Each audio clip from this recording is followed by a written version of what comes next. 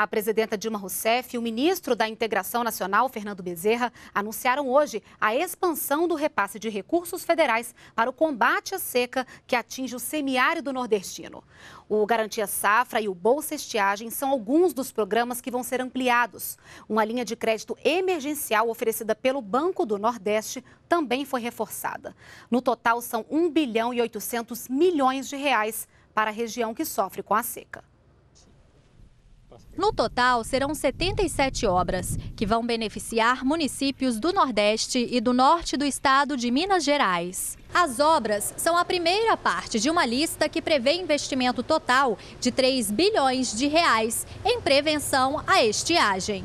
Os recursos vão ser liberados pelo governo federal. Estados e municípios vão ser os responsáveis pela execução das obras, que devem ter a primeira etapa concluída em até 18 meses.